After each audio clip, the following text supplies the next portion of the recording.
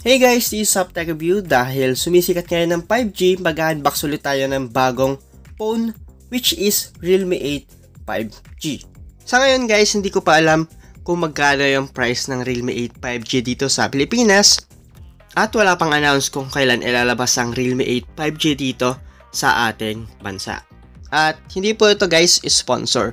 So dito sa likod ng box natin, ang Realme 8 5G ay merong Dimensity 700 5G processor, syempre, Smart 5G power, 90Hz refresh rate, and 48 megapixel. At ito ay 8 GB of RAM and 128 GB of storage. At ang kulay nito guys ay Supersonic Black. Pero guys, nakita ko na kasi ito sa AliExpress pero iba yung variant doon sa AliExpress which is 6128 at umaabot ng 220 US dollar to 240. So aabutin ng 10 to 11k. So tara guys, i-unbox na natin. Okay guys, so dito sa loob ng box, ito yung makikita natin. Merong documents, syempre, mamaya na tayo dyan. At Realme phones or Realme 8 5G. Ayan. At dito sa loob, ito yung makikita natin. Merong charger which is 18 watts. So, 18 watts lang siya guys. Same dun sa Poco M3 Pro.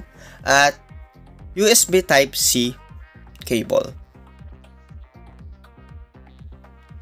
Okay guys, dito naman tayo sa documents natin at may nakasulat pa na Hey, welcome to Realme family. At dito sa loob ng documents, ito makikita natin sa una, merong SIM ejector tool, syempre hindi mo wala yan. At may nakasulat pa na Let's embrace a new journey. So dito naman sa loob, ito yung makikita natin guys. Yan. At ito yung makikita natin, merong information guide. So kailangan talaga yan. At yung kasunod, merong quick start guide. Okay, so wala nang iba. At pang last, yung ating TPU case. Okay guys, so dito na tayo sa phone which is Realme 8 5G. Ayan, so tanggalin na natin sa plastic. At ito yung unahan ng ating Realme 8 5G. So dito naman sa likod, ito yung itsura ng likod ng phone. At ang kulay nito ay Supersonic Black. Ayan. At ito yung camera setup niya guys, 48 megapixel. At guys, medyo magaan ang Realme 8 5G. Ayan, so tanggalin natin yung sticker para makita natin yung itsura. At ito guys, medyo may pagka-glossy at yun nga lang attract sa fingerprint. So kailangan natin lagyan ng TPU case. At at guys, meron lang napansin dito sa Realme 8, medyo katulad siya ng mga button sa Realme 7.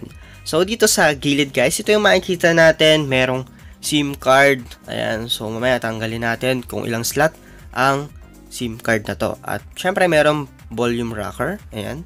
So tanggalin na natin guys dun sa ating SIM card. Ayan. So ito ay tatlong slot. So isang memory card at dalawang SIM card. Ayan. Ito naman sa kabilang side, ito yung makikita natin guys. Merong power button and fingerprint scanner. So, ayan. At dito naman sa ilalim, merong 3.5mm jack, mic, USB-C port, and microphone.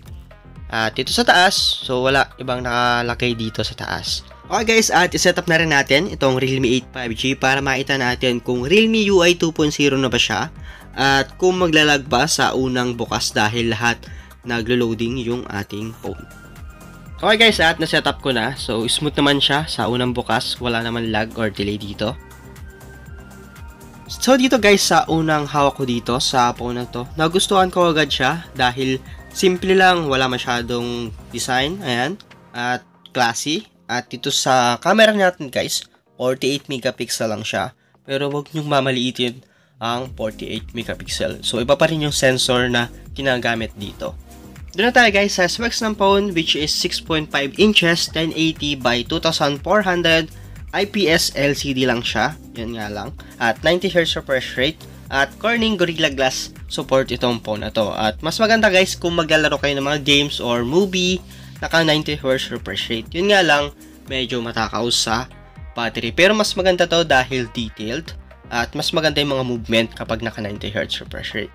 At pagdating naman guys sa processor and sa GPU ng phone ay naka Dimensity 700 itong ating phone. 5G na siya, syempre.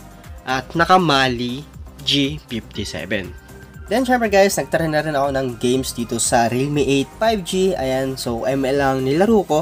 Pagdating sa performance ng game na to, hindi pang papatalo ang Dimensity 700. Ayan, so okay na okay yung games dito sa Realme 8. Wala akong nararamdamang lag or delay.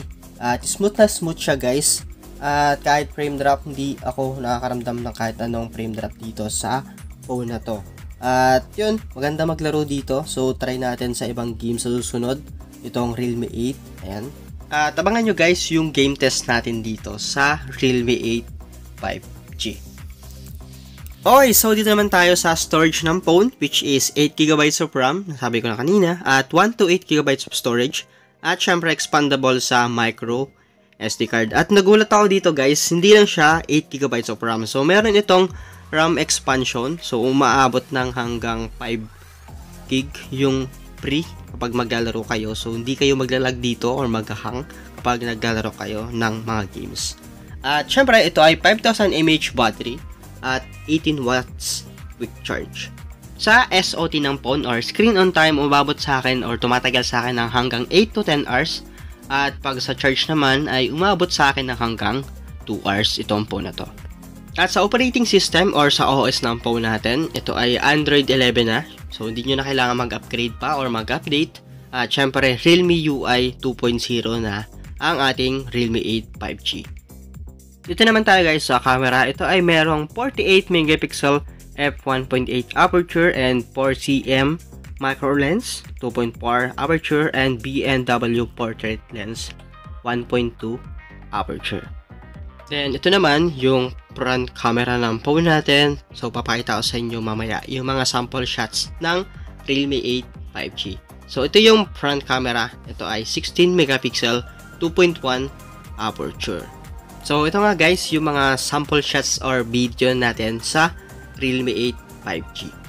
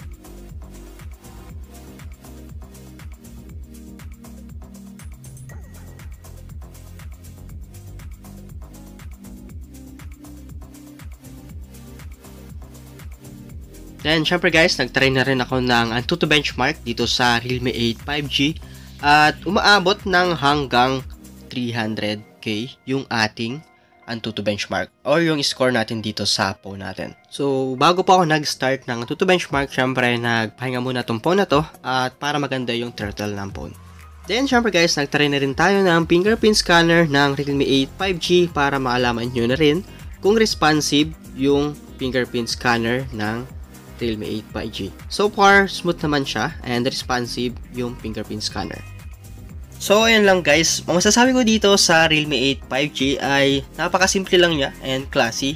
Yun yung nagustuhan ko dito and sa setup, parang katulad siya ng Realme 7 and pagdating naman sa camera ng phone, mas gusto ko to. Maganda yung pagkuha ng picture dito sa Realme 8. And pagdating naman sa screen, maganda tong pang games at naka 90Hz refresh rate. Yun nga lang, syempre, bumalik ito sa IPS LCD. So, wala nang problema doon kahit IPS LCD lang siya. And sa RAM, ito yung big factor guys nung phone na to, which is Realme 8 5G. meron siyang RAM expansion. So, halos umaabot ng 5 gig RAM yung space kapag kayo ay naglalaro dito or kahit hindi nyo pa kini-clear yung background. So, ito yung nagustuhan ko dito guys sa Realme 8 5G. At siguradong ito yung ikakapanalo ng phone na to. And pagdating sa price guys, hindi ko pa alam kung ano yung official price ng Realme 8 5G. So siguro abangan nyo na lang yung announce ng Realme Philippines kung ano yung magiging price nito at kung kailan ilalabas yung Realme 8 5G dito sa Pilipinas. So, ayun lang guys. For more upcoming phone and unboxing, please like, share, and subscribe and click the bell button para lagi kayong updated. Peace! Bye!